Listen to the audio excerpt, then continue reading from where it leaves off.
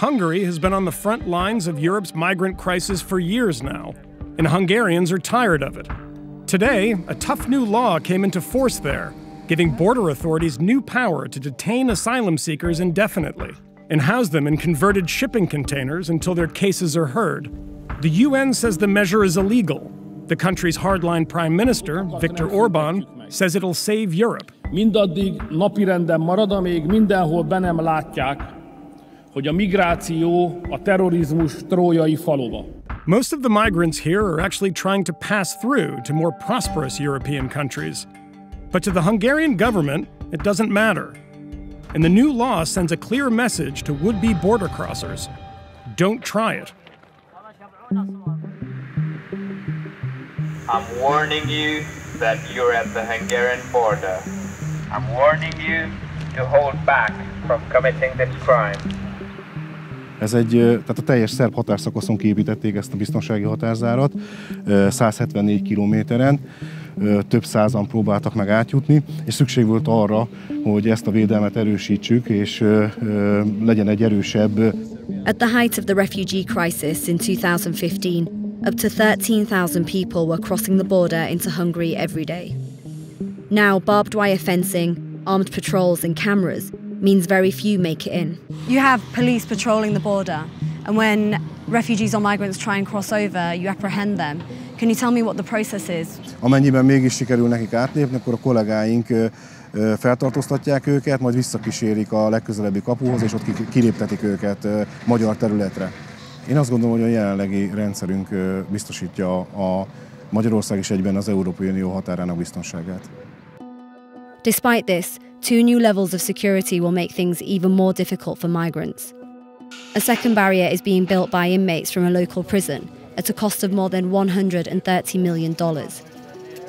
And the new law will now mean that all migrants and refugees, including women and children over 14, will be held in shipping containers like these, instead of camps, indefinitely. There'll be 324 in total, and people in existing camps may now be moved into them. They won't be allowed to leave unless their applications are successful. The reality is that most will be rejected, and when that happens, they'll be sent back across the border. It's meant to further deter people like Ashar, one of 8,000 migrants and refugees stuck in Serbian camps waiting to cross. I came to Serbia because I knew that the process was so easy. Ashar is 24 years old, from Iran, and has been stuck in Serbia for seven months. He says his name was taken off the list to enter Hungary because of a clerical error that was never explained to him. The Hungarian government allows no more than 10 a day to pass legally through to the transit zone. You could have crossed in, in uh, 12 to 15 days. So, how does it feel to still be here after that? Depressing, stress, stressful, and uh, frustrating. Yeah. It's difficult to wait.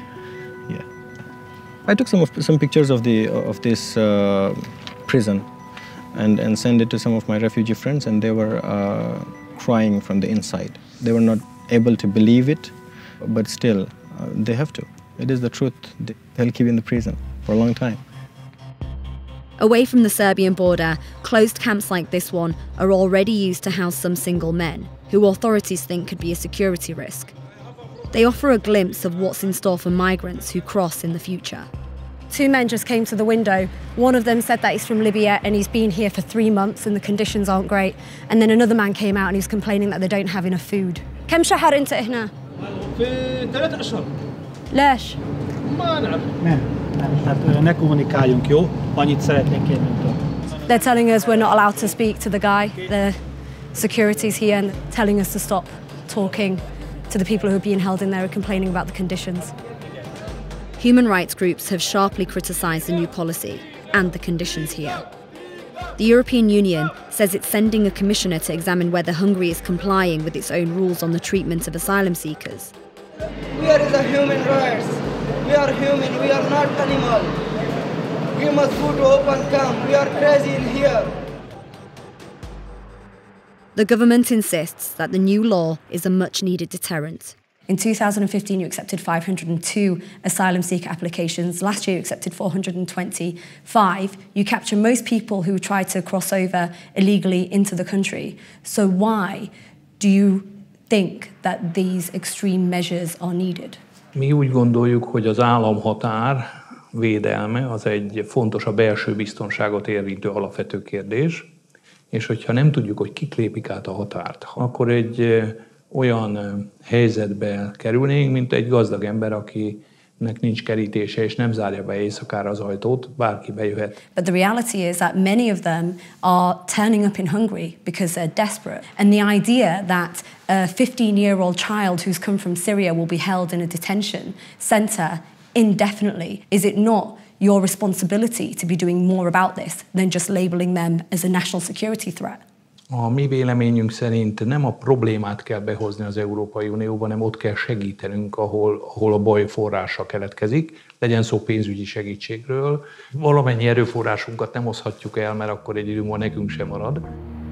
In the Serbian camps, there's evidence that Hungary's no compromise attitude could shift the problem from their borders, but that the new policy won't mark the end of the migrant crisis. The new law that Hungary is going, going to implement, it is, it is going to affect people I would say mentally, because they already have been waiting for, for so long and uh, it is frustrating for them. So what are you hoping for now? I will, I will try to make a plan and, and, uh, and make my way towards uh, Croatia and try to cross illegally. Yeah.